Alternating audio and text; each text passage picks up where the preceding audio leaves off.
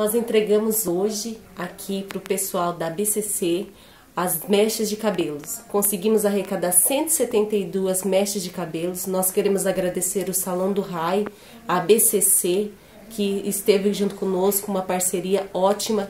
Mesmo nesse ano tão difícil que a gente está passando, a gente conseguiu atingir a nossa meta.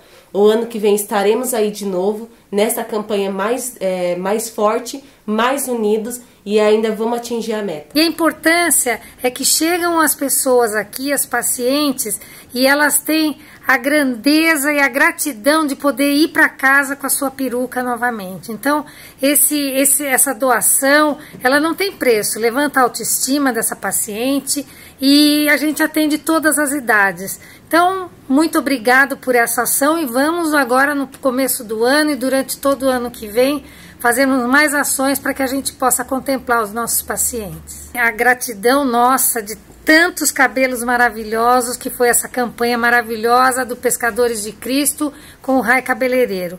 Foi muito gratificante, foi muito importante para nós porque a gente acredita nesse trabalho, né? Todos os depoimentos que a gente colocou, vocês viram que temos casos na, na família, né? Também de câncer.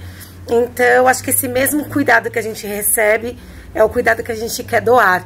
E é muito amor envolvido em tudo. A gente faz não só no Outubro Rosa, mas durante o ano inteiro com muito amor.